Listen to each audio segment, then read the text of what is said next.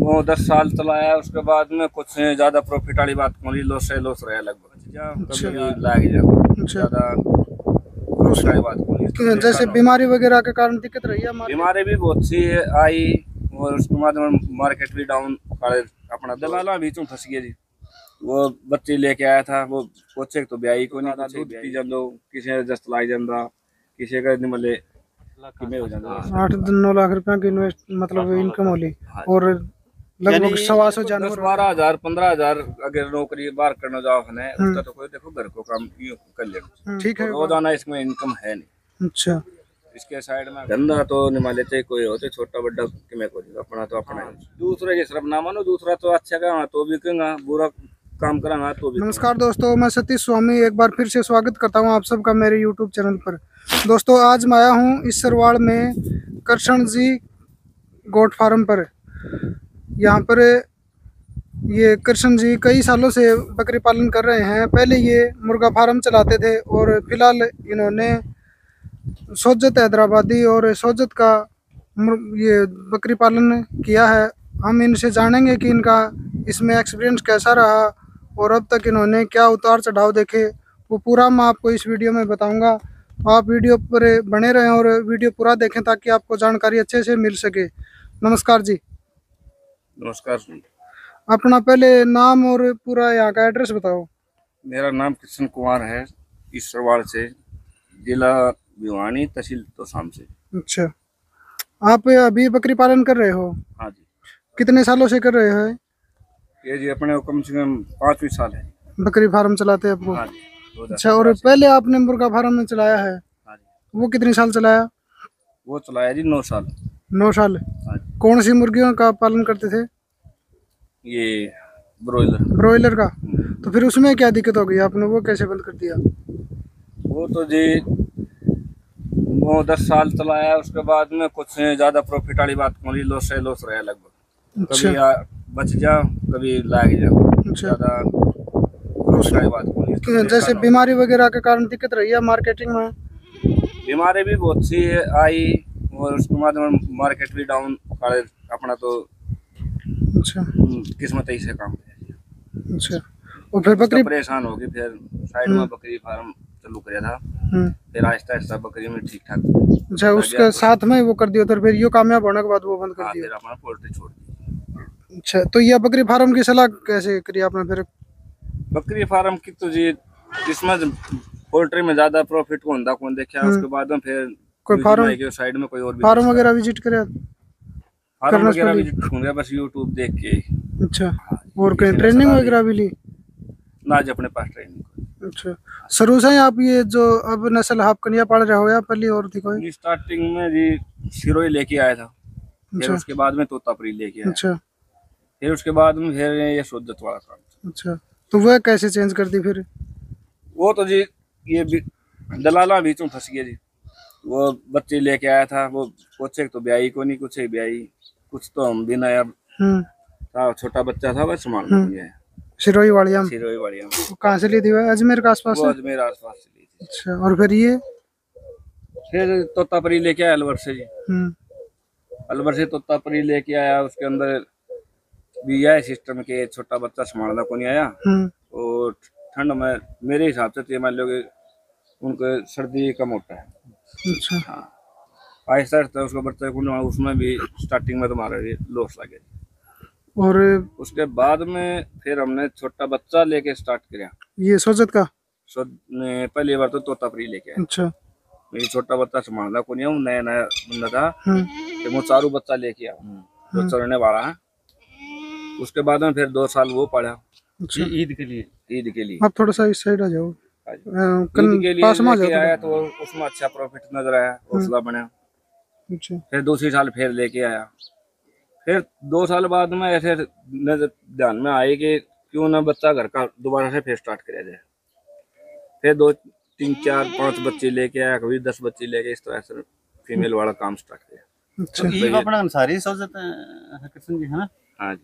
लगभग सारी हैं। कितना जानवर है टोटल फ़िलहाल आपका ना?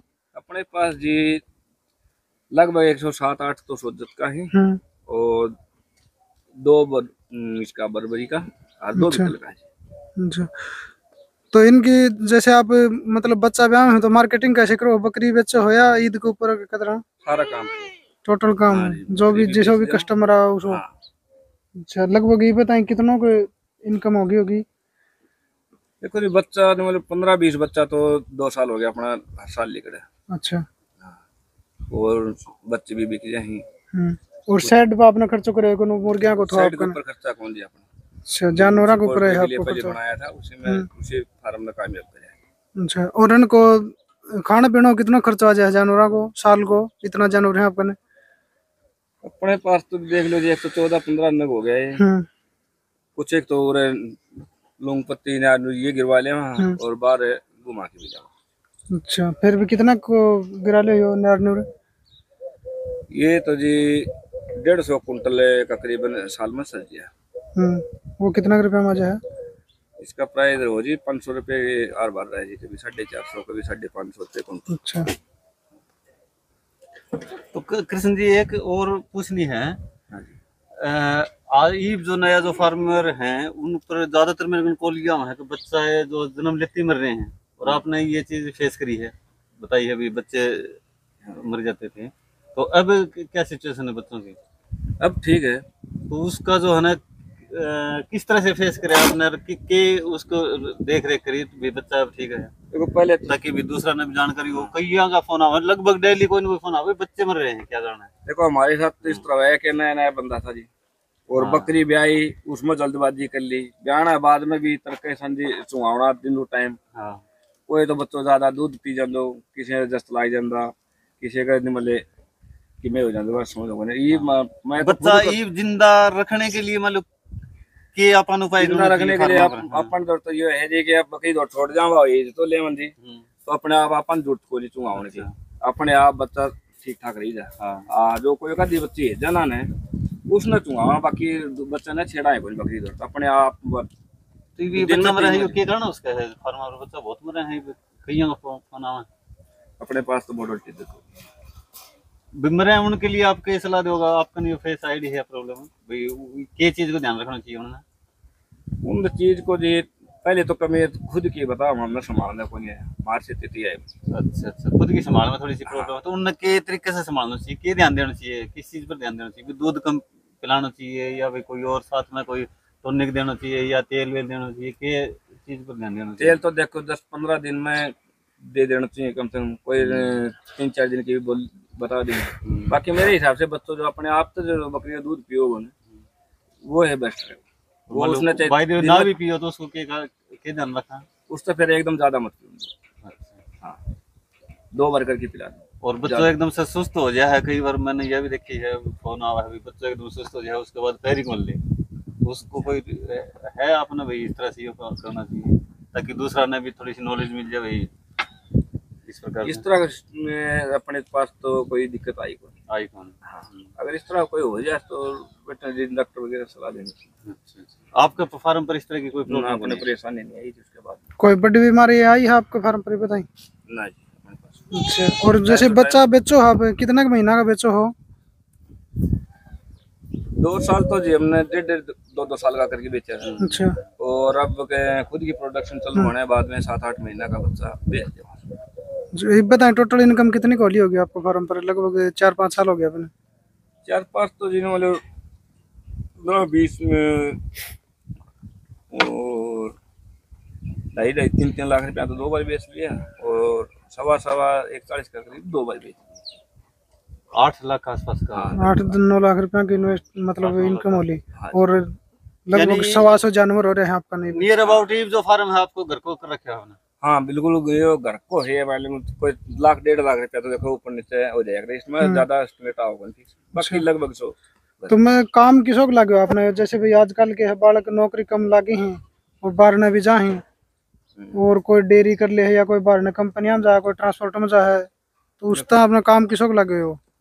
देखो दस बारह हज़ार पंद्रह हज़ार अगर नौकरी बाहर करना जाओ है उसका तो कोई देखो घर को काम यूँ कर लेना ठीक है वो काम। हाँ बिल्कुल ठीक है। अच्छा और कितना खर्चो लागे करे कितना जानवर करे जानवर तो अगले के पहले तो कैपेसिटी रख रखाव जगह की देखनी चाहिए अपने पास कितनी है। हम्म। फिर उसकी पेमेंट कितनी है। अच्छा। उसके बाद में जो जितनी पेमेंट है नहीं किसी भाई पेमेंट भी ज़्यादा हो नयो बंदो है।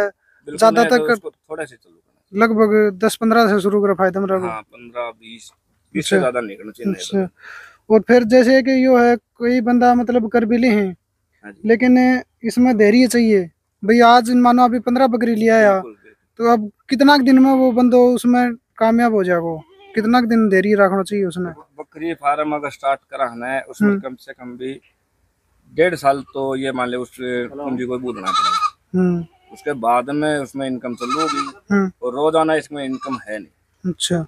इसके साइड में अगर साइड में कुछ और हाँ शुरू में थोड़ा बहुत आपको खर्चा करने खातर और कर लेकिन हाँ, साइड में कुछ साइड में और कुछ धंधो खर्च करना है। हम्म। तो या फिर किसी भी साइड की तरह से आमदनी हो उसमें वो एक काम अच्छा और फिर मतलब मतलब लगभग दो तीन साल बाद से परमानेंट ये इसमें आ जाओ हाँ डेढ़ साल बाद में तो ये मान लो कि अपनी ही सिस्टम चालू करो। अच्छा फिर और क्या ऊपर निर्भर रहने की ज़रूरत ना नहीं फिर कोई नहीं पड़ेगा। अच्छा एक जैसे आपने करे हो तो अपने के है पहले तो मतलब गाँव में बूढ़िया कराया करता घुमा के लाया करता वह। तो उनका ज़्यादा दिक्कत भी कौन थी? लेकिन ये आपने जैसा पढ़ाई लिख पढ़ाई लिखा करी तो उन लोग के है मतलब ताना मार मार के बावड़ा करते हैं। भाई इतना पढ़ लियो और बकरी चराव है। तो आपने भी किसी तरह कही होगी कुछ फील हुई आपने? हाँ स्टार्टिंग में मैंने बकरी फार्म के ऊपर रखी थी। हम्म। पहले बकरा खर्ची बकरा पाला करता वही फार्म का था फिर बकरी स्टार्टिंग करी। हम्म। उसके बाद में फिर बकरी बार चलाने लगे। दिक्कत तो आम से हर आदमी तो तो है लेकिन इस बात की शर्म नहीं करनी चाहिए। धंधा तो निमा लेते कोई होते छोटा बड़ा कि मैं कोई अपना तो अपना है उसे अच्छा मतलब आराम से बढ़िया तरीके से करना में फ़ायदा हो इसमें? हाँ दूसरे की शर्म ना मानो दूसरा तो अच्छा कहा तो भी कहूँगा बुरा काम करांगा तो भी कहूँगा। अच्छा। मेन बात यह है कि अपन अपने लिए अच्छो के। सही है। अपने जो लिए अच्छो है